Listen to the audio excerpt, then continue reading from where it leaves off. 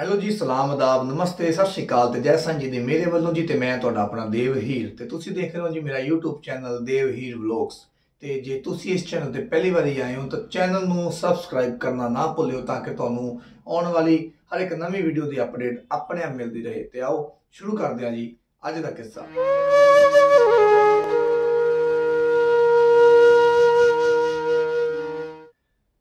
ਅੱਜ ਦਾ ਕਿੱਸਾ ਵੀ ਮੈਂ ਮਾਨ ਸਾਹਿਬ ਦਾ ਸ਼ੇਅਰ ਕਰੂੰਗਾ। ਕਿਉਂਕਿ ਮੈਨੂੰ ਆਇਆ ਵੀ ਜਿੰਨੀਆਂ ਮਾਨ ਸਾਹਿਬ ਦੀਆਂ ਸਾਈਂ ਜੀ ਦੇ ਨਾਲ ਜੁੜੀਆਂ ਗੱਲਾਂ ਨੇ, ਮੈਂ ਤੁਹਾਡੇ ਸਾਰਿਆਂ ਦੇ ਨਾਲ ਉਹ ਸਾਂਝੀਆਂ ਜ਼ਰੂਰ ਕਰਾਂ।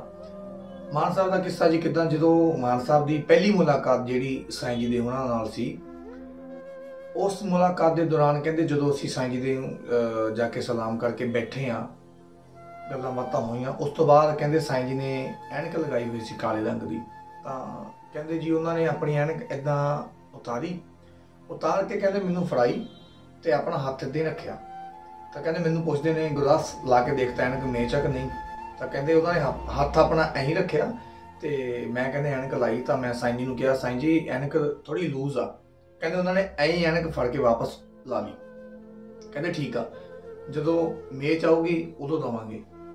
ਚਲੋ ਜੀ, ਸਲਾਮ ਕੀਤੀ, ਘਰਾਂ ਨੂੰ ਆ ਗਏ। ਟਾਈਮ ਲੰਘਦਾ ਗਿਆ ਲੰਘਦਾ ਗਿਆ। ਉਸ ਤੋਂ ਬਾਅਦ ਦੁਬਾਰਾ ਫਿਰ 5 ਸਾਲ ਬਾਅਦ ਸਾਈਂ ਜੀ ਦੇ ਨਾਲ ਮੁਲਾਕਾਤ ਹੋਈ ਮਾਨ ਸਾਹਿਬ ਦੀ, ਜਿਵੇਂ ਕਿ ਮੈਂ ਤੁਹਾਡੇ ਨਾਲ ਉਹ ਵੀ ਕਿੱਸਾ ਜਿਹੜਾ ਪਿੱਛੇ ਸਾਂਝਾ ਕੀਤਾ, ਉਹਦੇ ਵਿੱਚ ਮੈਂ ਸਾਰਾ ਦੱਸਿਆ ਕਿ 5 ਸਾਲ ਬਾਅਦ ਮਾਨ ਸਾਹਿਬ ਸਾਈਂ ਜੀ ਨੂੰ ਮਿਲੇ। 5 ਸਾਲ ਬਾਅਦ ਕਹਿੰਦੇ ਜਦੋਂ ਸਾਈਂ ਜੀ ਨੂੰ ਅਸੀਂ ਮਿਲੇ ਆ, ਉਦੋਂ ਸਾਈਂ ਜੀ ਨਾਲ ਇਸ਼ਕ ਲੱਗ ਗਿਆ, ਦਰਬਾਰ ਦੇ ਹੋ ਗਏ ਅਸੀਂ।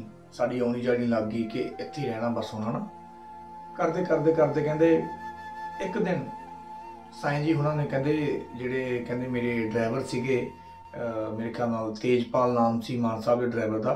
ਕਹਿੰਦੇ ਸਾਈਂ ਜੀ ਨੇ ਤੇਜਪਾਲ ਨੂੰ ਕਿਹਾ ਕਿ ਇਹ ਗੱਡੀ 2 ਦਿਨਾਂ ਵਾਸਤੇ ਦਰਬਾਰ ਖੜੀ ਕਰ ਜਿਓ ਤਾਂ ਕਹਿੰਦੇ ਉਹਨੇ ਹੱਥ ਜੋੜਤੇ ਵੀ ਠੀਕ ਹੈ ਸਾਈਂ ਜੀ ਕਰ ਦਿਆਂਗੇ। ਪਰ ਕਹਿੰਦੇ ਉਹ ਜਿਹੜਾ ਤੇਜਪਾਲ ਸੀ, ਉਹ ਸਾਈਂ ਜੀ ਦੀ ਉਹ ਗੱਲ ਭੁੱਲ ਗਿਆ ਕਿ ਗੱਡੀ ਦਰਬਾਰ ਦੇ ਵਿੱਚ ਖੜੀ ਕਰਨੀ ਆ। ਉਹ ਆਪਣੇ ਕੰਮਾਂ ਕਾਰਾਂ 'ਚ ਬਿਜ਼ੀ ਹੋ ਗਿਆ, ਭੁੱਲ ਗਿਆ। ਚਲੋ ਜੀ ਟਾਈਮ ਲੰਘਿਆ ਕੁਦਰਤੀ ਕਿਸੇ ਦਿਨ ਉਹ ਨਕੋਦਰ ਵਾਲੀ ਸਾਈਡ ਨੂੰ ਕਿਤੇ ਆਪਣੇ ਯਾਰਾਂ ਦੋਸਤਾਂ ਨਾਲ ਕਿਸੇ ਪਾਰਟੀ ਤੇ ਗਏ ਸੀ ਤਾਂ ਉੱਥੇ ਉਹਨਾਂ ਨੇ ਬੀਅਰ ਬੂਰ ਪੀ ਲਈ। ਉੱਥੋਂ ਵਿਹਲੇ ਹੋਣ ਤੋਂ ਬਾਅਦ ਉਹਨੇ ਸੋਚਿਆ ਕਿ ਉਸੇ ਰਸਤੇ ਦੇ ਵਿੱਚ ਆ ਕਿਉਂ ਨਾ ਮੈਂ ਇੱਥੋਂ ਜਾਂਦਾ ਜਾਂਦਾ ਹੀ ਆਪਣੀ ਜਿਹੜੀ ਗੱਡੀ ਆ, ਇਹ ਡੇਰੇ ਖੜਾਜਮਾ ਸਾਈਂ ਜੀ ਨੇ ਕਿਹਾ ਸੀ। ਚਲੋ ਜੀ, ਉਹਨੇ ਗੱਡੀ ਡੇਰੇ ਜਾ ਕੇ ਲਾਈ, ਸਾਈਂ ਜੀ ਨੂੰ ਸਲਾਮ ਕੀਤੀ ਕਿ ਸਾਈਂ ਜੀ ਇਦਾਂ ਕਰਕੇ ਮੈਂ ਗੱਡੀ ਖੜਾਉਣ ਆਇਆ ਸੀ, ਤੁਸੀਂ ਕਿਹਾ ਸੀ ਕਿ ਗੱਡੀ ਖੜਾ ਕੇ ਜਾਇਓ। ਸਾਈਂ ਜੀ ਕਹਿੰਦੇ ਗੱਡੀ 'ਚ ਦਾਰੂ ਪਈ ਆ। ਤਾਂ ਹੁਣ ਸਾਈਂ ਜੀ ਤਾਂ ਸਭ ਜਾਣਦੇ ਨੇ, ਮਾਨ ਸਾਹਿਬ ਕਹਿੰਦੇ ਵੀ ਹੁਣ ਉਹਨਾਂ ਨੂੰ ਕੌਣ ਕਹੇ ਵੀ ਦਾਰੂ ਨਹੀਂ ਪਈ। ਜੇ ਪਈ ਸੀ ਤਾਂ ਹੀ ਉਹਨਾਂ ਨੇ ਕਿਹਾ। ਤਾਂ ਉਹ ਕਹਿੰਦੇ ਜੀ ਹਾਂਜੀ ਸਾਈਂ ਜੀ ਕਹਿੰਦੇ, ਤੂੰ ਗੱਡੀ ਖੜਾਉਣ ਆਇਆ ਜਾਂ ਪਿਕਨਿਕ ਮਨਾਉਣ ਆਇਆ? ਵੀ ਲੈ ਜਾਓ ਗੱਡੀ ਇਸੇ ਚਲੋ ਜੀ, ਸਾਈਂ ਜੀ ਨੇ ਗੁੱਸੇ ਦੇ ਵਿੱਚ ਉਹਨੂੰ ਬੋਲਿਆ। ਗੱਡੀ ਉੱਥੇ ਖੜਾਈ ਨਹੀਂ, ਗੱਡੀ ਤੋੜਤੀ। ਉਸ ਦਿਨ ਤੋਂ ਕੁਝ ਦਿਨਾਂ ਬਾਅਦ ਹੀ ਕਹਿੰਦੇ, ਅਸੀਂ ਕਿਸੇ ਫੰਕਸ਼ਨ ਤੋਂ ਵਾਪਸ ਆ ਰਹੇ ਸੀ। ਮੈਂ ਸੀ, ਕਹਿੰਦੇ ਮੇਰੇ ਨਾਲ ਵਾਈਫ ਸੀ ਤੇ ਉਹ ਡਰਾਈਵਰ ਤੇਜਪਾਲ ਸੀ। ਤੇ ਜ਼ਿੰਦਗੀ 'ਚ ਕਹਿੰਦੇ ਪਹਿਲੀ ਵਾਰੀ ਤੇਜਪਾਲ ਨੇ ਮੈਨੂੰ ਇੰਨੀ ਗੱਲ ਕਹੀ ਕਿ ਭਾਜੀ, ਤੁਸੀਂ ਐ ਕਰੋ, ਜੇ ਕੋਈ ਪਾਠ ਕਰਨਾ ਪਾਠ ਕਰ ਲਓ, ਸੋਣਾ ਆ ਤਾਂ ਸੋ ਜਾਓ, ਪਰ ਤੁਸੀਂ ਆਪਣੀ ਬੈਲਟ ਜ਼ਰੂਰ ਲਗਾ ਲਓ। ਪਹਿਲੀ ਵਾਰ ਕਹਿੰਦੇ ਮੈਨੂੰ ਉਹਨੇ ਜ਼ਿੰਦਗੀ 'ਚ ਇਹ ਗੱਲ ਕਹੀ। ਚਲੋ ਜੀ ਕਹਿੰਦੇ ਮੈਂ ਆਪਣੀ ਬੈਲਟ ਲਗਾਈ, ਤੇਜਪਾਲ ਨੇ ਬੈਲਟ ਲਗਾਈ ਜਾਂ ਨਹੀਂ ਲਗਾਈ, ਮੈਨੂੰ ਨਹੀਂ ਪਤਾ। ਬੈਲਟ ਲਗਾਈ, ਉਸ ਤੋਂ ਬਾਅਦ ਕਹਿੰਦੇ ਮੇਰੀਆਂ ਅੱਖਾਂ ਹਸਪਤਾਲ ਦੇ ਵਿੱਚ ਹੀ ਖੁੱਲੀਆਂ ਨੇ। ਤੇ ਜਦੋਂ ਮੇਰੀਆਂ ਅੱਖਾਂ ਖੁੱਲੀਆਂ ਤਾਂ ਮੈਨੂੰ ਪਤਾ ਲੱਗਿਆ ਕਿ ਤੇਜਪਾਲ ਨਹੀਂ ਰਿਹਾ। ਉਸ ਟਾਈਮ ਤੇ ਕਹਿੰਦੇ, ਉਹ ਬੋਲ ਮੈਂ ਲਿਖੇ ਸੀ ਕੁਝ ਗੀਤ, ਉਸ ਤੋਂ ਬਣਿਆ ਸੀ ਕਿ ਅੱਖਾਂ ਖੁੱਲੀਆਂ ਜਦੋਂ ਖੁਮਾਰੀ ਉਤਰ ਗਈ, ਬੈਠੀ ਸਾਡੇ ਨਾਲ ਸਵਾਰੀ ਉਤਰ ਗਈ। ਇਹ ਗੀਤ ਕਹਿੰਦੇ ਮੇਰੇ ਉਸ ਟਾਈਮ ਦੇ ਵਿੱਚ ਲਿਖਿਆ ਗਿਆ ਸੀ। ਚਲੋ ਜੀ ਟਾਈਮ ਲੰਘਿਆ, ਸਾਈਂ ਜੀ ਦੇ ਕੋਲੇ ਗਏ, ਸਲਾਮ ਦੁਆ ਕੀਤੀ, ਗਲਤੀ ਮੰਨੀ, ਭੁੱਲ ਚੁੱਕ ਮੰਨੀ ਉਸ ਤੋਂ ਬਾਅਦ ਚੱਲਦਾ ਰਿਹਾ ਚੱਲਦਾ ਰਿਹਾ ਚੱਲਦਾ ਰਿਹਾ, ਕਹਿੰਦੇ ਦੂਸਰਾ ਐਕਸੀਡੈਂਟ ਫੇਰ ਹੋਇਆ।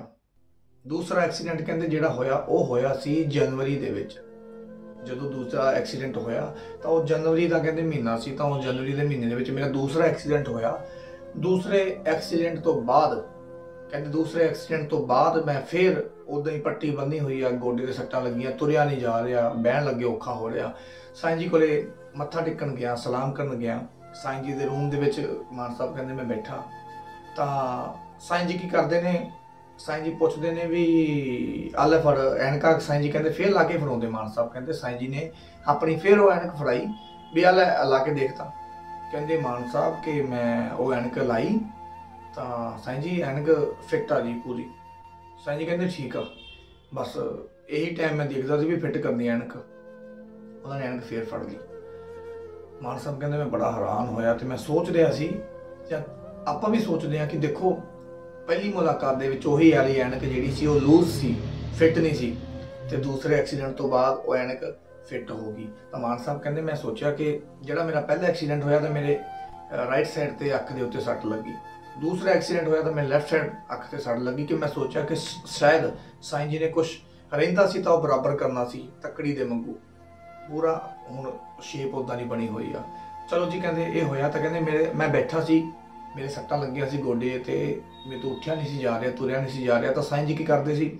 ਸਾਈਂ ਜੀ ਕਹਿੰਦੇ ਗੁਰਦਾਸ ਉਹ ਸਮਾਨ ਚੱਕ ਕੇ ਫੜਾ ਗੁਰਦਾਸ ਉਹ ਚੱਕ ਕੇ ਫੜਾ, ਉਹ ਚੱਕ ਕੇ ਫੜਾ। ਕਦੇ ਬਿਠਾਉਂਦੇ ਸੀ, ਕਦੇ ਖੜੇ ਕਰਦੇ ਸੀ, ਕਦੇ ਬਿਠਾਉਂਦੇ ਸੀ, ਕਦੇ ਖੜੇ ਕਰਦੇ ਸੀ। ਇਹਨਾਂ ਕੰਮਾਂ ਦੇ ਵਿੱਚ ਮਾਨ ਸਾਹਿਬ ਕਹਿੰਦੇ, ਮੈਂ ਆਪਣੀ ਦਰਦ ਭੁੱਲ ਗਿਆ, ਵੀ ਮੇਰੇ ਗੋਡੇ ਦੇ ਵਿੱਚ ਦਰਦ ਹੋ ਰਹੀ ਆ ਜਾਂ ਨਹੀਂ ਹੋ ਰਹੀ। ਤੇ ਉਸ ਤੋਂ ਬਾਅਦ ਕਹਿੰਦੇ ਮੇਰੇ ਉੱਥੇ ਜਾਣ ਤੋਂ ਕੁਝ ਕੁ ਦੇਰ ਪਹਿਲਾਂ ਹੀ ਰੁੜਕੇ ਵਾਲੇ ਫਕੀਰ ਉੱਥੇ ਆ ਕੇ ਗਏ ਸੀ ਸਾਈਂ ਜੀ, ਉਹਨਾਂ ਦੇ ਕੋਲੇ ਕਿ ਸਾਈਂ ਜੀ, ਸਾਰੇ ਕਲਾਕਾਰ ਆਪਣੇ ਮੇਲੇ ਤੇ ਗਾ ਗਏ ਗੁਰਦਾਸ ਨਹੀਂ ਗਾ ਕੇ ਗਿਆ ਵੀ ਤੁਸੀਂ ਮਾੜਾ ਜਿਹਾ ਕਿਹੋ ਗੁਰਦਾਸ ਨੂੰ। ਤਾਂ ਕਹਿੰਦੇ ਜਦੋਂ ਸਾਈਂ ਜੀ ਉਹਨਾਂ ਨੇ ਮੈਨੂੰ ਏਦਾਂ ਸਾਰਾ ਸਮਾਨ ਸਮੂਨ ਚੱਕ ਕੇ ਫੜਾਉਣ ਨੂੰ ਕਿਹਾ, ਮੈਂ ਦਰਦਾਂ ਦੁਰਦਾਂ ਭੁੱਲ ਗਿਆ ਆਪਣੀ ਮੇਰੇ ਦਰਦ ਹੁੰਦੀ ਆ। ਤਾਂ ਬੜੇ ਕਹਿੰਦੇ ਨਰਮ ਜਿਹੇ ਸੁਭਾਅ ਨਾਲ ਸਾਈਂ ਜੀ ਮੈਨੂੰ ਪੁੱਛਦੇ ਨੇ ਵੀ ਯਾਰ ਗੁਰਦਾਸ, ਮੇਰੀ ਗੱਲ ਸੁਣ, ਵੀ ਰੁੜ ਕੇ ਮੇਲਾ ਆ, ਅਹ ਰੁੜ ਕੇ ਜਾ ਕੇ ਮਾੜਾ ਜਿਹਾ ਗਾਇਆ ਹੀ ਯਾਰ। ਤਾਂ ਕਹਿੰਦੇ ਮੈਂ ਹਾਂ ਜੋੜ ਕੇ ਜੀ, ਵੀ ਤੁਸੀਂ ਹੁਕਮ ਕੀਤਾ ਤਾਂ ਮੈਂ ਜ਼ਰੂਰ ਜਾਊਂਗਾ। ਤਾਂ ਕਹਿੰਦੇ 26 ਜਨਵਰੀ ਦਾ ਰੁੜ ਕੇ ਮੇਲਾ ਹੁੰਦਾ, ਤਾਂ 26 ਜਨਵਰੀ ਤੋਂ ਕਹਿੰਦੇ ਕੁਝ ਦਿਨ ਪਹਿਲਾਂ ਮੇਰਾ ਐਕਸੀਡੈਂਟ ਹੋਇਆ ਸੀ। ਜਿੱਥੇ ਸਾਈਂ ਜੀ ਨੇ ਕਿਹਾ ਸੀ ਕਿ ਥੋੜਾ ਜਿਹਾ ਗਾਇਆ ਹੀ ਤਾਂ ਕਹਿੰਦੇ ਮੈਂ ਪੱਟੀ ਬੰਨੀ ਦੇ ਵਿੱਚ ਉਸੇ ਰੁੜਕੇ ਦੇ ਮੇਲੇ ਤੇ ਕਹਿੰਦੇ ਮੈਂ ਡੇਢ ਘੰਟਾ ਗਾ ਕੇ ਆਇਆ। ਮਤਲਬ ਕਿ ਸਾਈਂ ਜੀ ਕੁਝ ਵੀ ਕਰ ਸਕਦੇ ਨੇ ਤੇ ਜੋ ਕੁਝ ਹੋ ਰਿਹਾ, ਜੇ ਆਪਾਂ ਸਾਈਂ ਜੀ ਨਾਲ ਇਸ਼ਕ ਕਰਦੇ ਆ ਤਾਂ ਸਭ ਕੁਝ ਸਾਈਂ ਜੀ ਕਰਵਾ ਰਹੇ ਨੇ। ਕਹਿੰਦੇ ਦੇਖੋ ਪੱਟੀ ਬੰਨੀ ਦੇ ਵਿੱਚ ਕਹਿੰਦੇ ਮੈਂ ਰੁੜ ਕੇ ਮੇਲੇ ਤੇ ਗਾ ਕੇ ਆਇਆ। ਐਕਸੀਡੈਂਟ ਤੋਂ ਤਿੰਨ ਚਾਰ ਦਿਨਾਂ ਬਾਅਦ ਮੈਂ ਮੇਲੇ ਤੇ ਗਾ ਸਕਦਾ, ਇੰਨੀਆਂ ਸੱਟਾਂ ਲੱਗੀਆਂ ਦੇ ਵਿੱਚ ਤਾਂ ਮੈਂ ਸਾਈਂ ਜੀ ਕੀ ਨਹੀਂ ਕਰਵਾ ਸਕਦੇ ਆਪਣੇ ਤੋਂ। ਸੋ ਜੀ, ਇਹ ਸੀ ਮਾਨ ਸਾਹਿਬ ਦਾ ਉਹ ਕਿੱਸਾ। ਜਿਹੜਾ ਐਕਸੀਡੈਂਟ ਤੋਂ ਬਾਅਦ ਮਾਨ ਸਾਹਿਬ ਨੇ ਰੁੜ ਕੇ ਮੇਲੇ ਤੇ ਗਾਇਆ। ਮੈਂ ਤੁਹਾਡੇ ਨਾਲ ਮਾਨ ਸਾਹਿਬ ਦੀ ਉਸ ਰੁੜ ਕੇ ਮੇਲੇ ਦੀ ਜਿਹੜੀ ਵੀਡੀਓ ਆ, ਉਹ ਵੀ ਮੈਂ ਹੁਣ ਸਾਂਝੀ ਕਰੂੰਗਾ। ਤੁਸੀਂ ਜਰੂਰ ਨਿਗਾਹ ਮਾਰੋ। ਇਸ਼ਕ ਦਾ ਗਿੜਦਾ ਪੈਂਦਾ, ਬਾਬਿਆਂ ਦੇ ਨਾਮ ਦਾ ਗਿੜਦਾ। ਸ਼ੁਰੂ ਕਰੀਏ ਜਰਾ। ਮੈਨੂੰ ਸਾਈਂ ਜੀ ਕਹਿੰਦੇ ਬੜਾ ਹਾਏ ਹਾਏ ਨਾ ਕਰੀ। ਚੱਲ ਚੱਲ। ਭੱਜਿਆ ਫਿਰ ਕਹਿੰਦੇ। ਸੋ ਮੈਂ ਭੱਜਦਾ।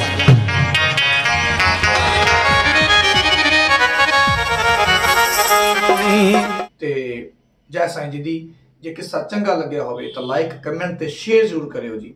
ਜੈ ਸਾਈਂ ਜੀ ਦੀ।